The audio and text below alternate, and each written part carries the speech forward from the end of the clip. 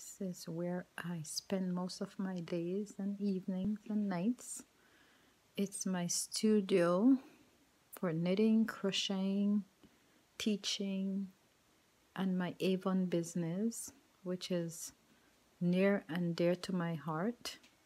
I love my Avon.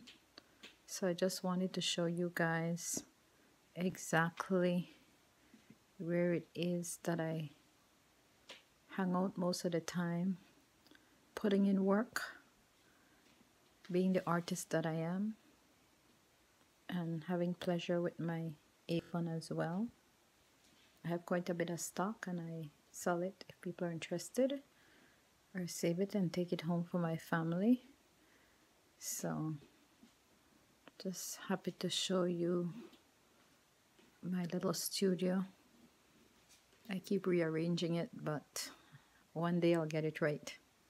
Thank you for watching. Have an amazing day.